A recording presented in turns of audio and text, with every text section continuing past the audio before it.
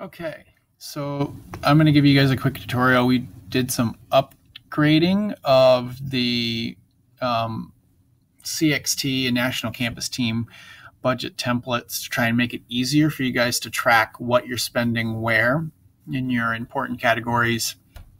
Um, this first tab here in the document, so it's called Budget Plan Fiscal Year 2018. Um, the this is populated a lot by the different tabs at the bottom here uh, in the different areas. Um, and so the way this kind of works is this is the budget that as it appears on the strategic plan. Um, any historical amounts that would be in any of these categories uh, or sections um, from the previous year will be pulled over, uh, and that that can appear um, in how it's allocated. Um, so this is the funds that are currently allocated. This is your spent column, and your remaining column calculates historical and allocated subtracted by spent. Um, and so how much money you have left in each area. This is your account balances. Um, I need to add sport links in here. And then um, these are kind of an overall summary of all of the um, different accounts in campus. Um, and if you click right on that link, that will always be the um, the div sum report that everybody gets. Um, so I'm going to kind of jump through tabs here. So the example one I will use will be training and development. Um, almost everybody's works the same way here. Um, so for training and development, anything that's in there, two chart fields um, that go towards these expenses, uh, what they'll do is um, they'll go over to my AIA, they'll plug in their chart field, um, and they'll have a list of transactions. And you go to the last transaction that your newest transaction that you haven't copied over yet. And you'll just do a control C and then paste it into the document here. Um, and so when you paste all these transactions, then you've got uh, options on in the category section here. Um, and so whatever you type in here as funding lines and funding areas, um, they'll appear as options to categorize stuff. Um, and so if I select local team leader for these and Govember for these and cohorts, a lot of cohort expenses, Govember, leader, cohorts. Okay. So what it's going to do is it's going to, it adds all the amount columns um, up into these up here. So this is, it's all kinds of jumbled because there's some fiscal year start allocations and things like that. Um, but so you can see it's adding each category in here. And then actually, because these are CXT tactics, these three right here, um, the CXT budget summary now has those amounts. So you see in local team leader and Govember. So it has all those populated.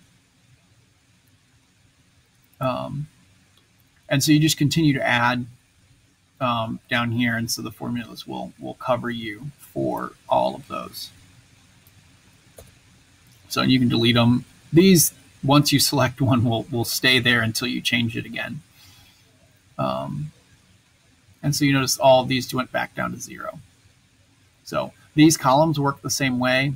Um, so you want to put in here what was originally on the strategic plan um, allocated for that line uh, so that you know that if you get money in the middle of the year and this goes up, you can see how much you started with and how much you actually spent or how much you actually allocated versus how much you actually spent.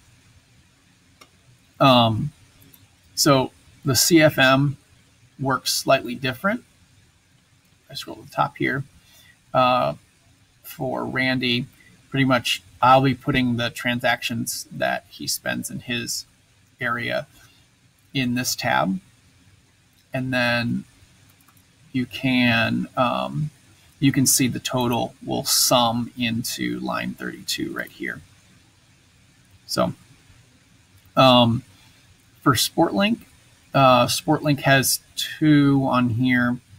One is this will be the main line 29 will be your main one, and then um, your totals for salt trainings will be here. Um, so in the SportLink one, it works the same as when I was in training development and global. Um, is that there's drop downs here, um, and then you have a CXT salt training tactic that there is currently a thousand dollars for. So we're going to put a thousand there, and a thousand is allocated. So that when we post transactions, and you see SportLink host salt training shows up right there. Um, and so what you guys can do is in the rest of these is put in your maintainers of um, things that you do that aren't necessarily on the, the strategic plan, um, like uh, cell phones and um, office copies and things like that uh, to kind of fill the rest of this out. Um, this will be the main transaction tab for um, basically all the other ones that aren't training and development or global um, or SportLink or CFM. So this will be everything else that we'll add into this right here. Then you'll find monthly chart field balances. I'm going to add SportLink in here, and so to give you each month um, of the year in through here. So then one of the other things, we'll go back to training and development, um, is so if I select all the transactions that I've inputted here, uh, what I can do is up here in this filter button, as I press the filter button, notice it kind of turns green and there's these little options up here. And so let's say I just want to look at the cohort spending. So I'm going to clear all of them and just select LTL cohorts. Click OK. And so notice all the other ones disappeared. And so that's just going to give me the individual transactions that we've set are LTL cohorts.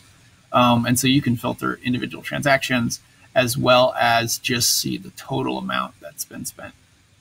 Um, so if I do this, you know, one, two, three, four, five, six, um, you can see that $15 is spent right there. So I hope this has been helpful. If you have any questions, let me know, or if you want a one-on-one walkthrough on kind of how this this works for you to ask questions for that. Let me know. Thanks.